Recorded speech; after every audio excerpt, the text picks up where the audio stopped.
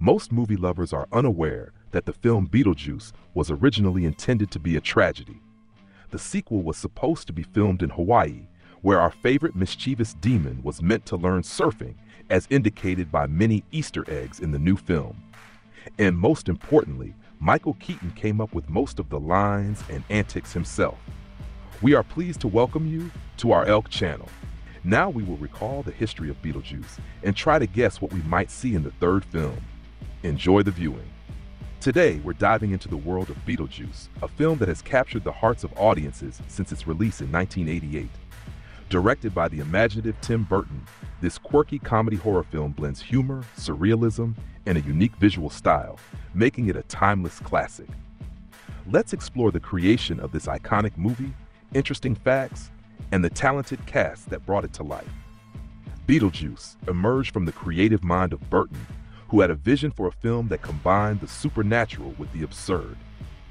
The screenplay, written by Michael McDowell, was initially darker but evolved into the comedic tone we know today. Burton's unique style, characterized by eccentric characters and whimsical aesthetics, shone through, creating a film that felt fresh and original. The story follows a recently deceased couple, Adam and Barbara Maitland, played by Alec Baldwin and Geena Davis. Trapped in their home after a tragic accident, they soon discover that their abode has been taken over by the obnoxious Deetz family. To reclaim their space, they summon the ghost with the most, Beetlejuice, portrayed brilliantly by Michael Keaton. This chaotic spirit offers to help, but has his own twisted agenda. Burton's visual style is evident throughout Beetlejuice. From the vibrant colors to the surreal set designs, every frame is a feast for the eyes. The film's creative use of practical effects, like the famous sandworm scene, adds to its otherworldly charm and has influenced countless films since. Did you know that many of the characters are based on real life influences? The character design reflects Burton's signature artistic flair, with exaggerated features and quirky outfits. The film is packed with memorable quotes and scenes that have entered pop culture, including Beetlejuice's catchphrase, It's Showtime. The film received an Academy Award for Best Makeup, highlighting its innovative effects and character design. Michael Keaton's performance as Beetlejuice is a masterclass in comedic timing and improvisation. Geena Davis and Alec Baldwin bring warmth and humor to their roles, creating a perfect balance between the living and the dead.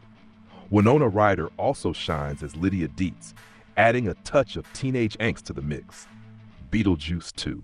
Set to bring back the quirky humor and supernatural antics we loved, this sequel is an exciting return to the bizarre world created by Tim Burton Let's explore the making of this film, the characters we'll reunite with, and the hidden gems within. After nearly three decades of anticipation, Beetlejuice 2 has finally taken shape. Tim Burton returns as director, ensuring that the film stays true to the whimsical and darkly comedic spirit of the original. The screenplay has gone through various iterations over the years, with Burton collaborating with different writers to capture the magic of the first film while introducing fresh elements to the story. In this sequel, we find Lydia Deetz, now an adult, played by Winona Ryder, who reprises her iconic role. The story picks up with Lydia as she navigates her life while still haunted by the memories of her past encounters with the ghost with the most. Michael Keaton also returns as the infamous Beetlejuice, promising more outrageous antics and unforgettable moments, their dynamic is sure to be just as wild and chaotic as it was in the first film. A fascinating aspect of Beetlejuice 2 is the continuation of themes explored in the original film. We can expect more supernatural shenanigans and quirky humor that made the first installment so beloved. Burton's signature visual style is set to shine again, with imaginative set designs and creative effects that promise to transport us back to the whimsical world of the afterlife. Rumors suggest that the sequel will introduce new characters and settings, expanding on the universe we fell in love with.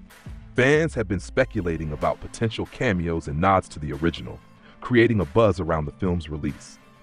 Hidden Easter eggs and references to the first film are likely to keep viewers engaged, rewarding longtime fans for their loyalty. In addition to the returning cast, we may see new faces joining the fun, bringing fresh dynamics to the story. The combination of new and familiar characters could create exciting opportunities for humor and drama, enhancing the narrative in unexpected ways. With Beetlejuice 2, Burton aims to recapture the magic that made the first film a cultural phenomenon while exploring the passage of time and how it affects relationships. The blend of nostalgia and innovation has fans eager for a glimpse into the lives of these beloved characters once more. Beetlejuice 3 What could the future hold? As we wrap our heads around the excitement of Beetlejuice 2, let's take a moment to ponder the possibilities for a potential third installment in this beloved franchise Beetlejuice 3. With Tim Burton's imaginative storytelling and Michael Keaton's unforgettable portrayal of the mischievous ghost, the door is wide open for even more supernatural shenanigans.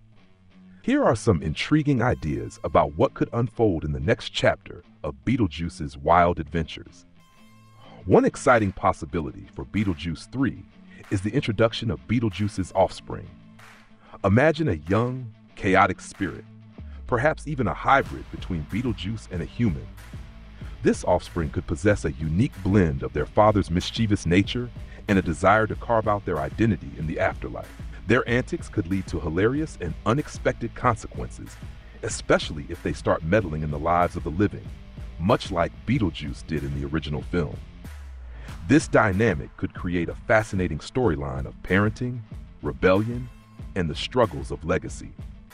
Another intriguing concept could involve the emergence of a rival ghost who may be a long lost relative of Beetlejuice. This character could possess their own set of supernatural powers and a grudge against Beetlejuice, leading to a comedic yet intense rivalry. Their backstory might reveal hidden family secrets, exploring Beetlejuice's origins and the complexities of his afterlife existence. This rivalry could challenge Beetlejuice's reputation and force him to confront his past, leading to a deeper character exploration while maintaining the franchise's signature humor.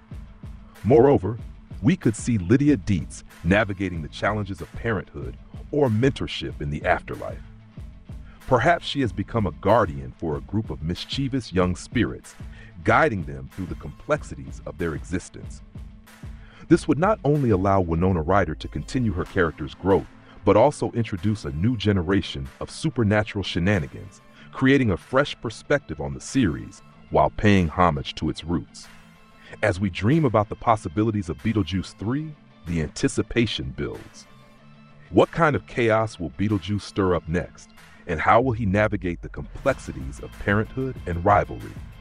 The charm of the original film lies in its ability to mix the bizarre with heartfelt moments. And we can only hope that a third installment will continue this legacy.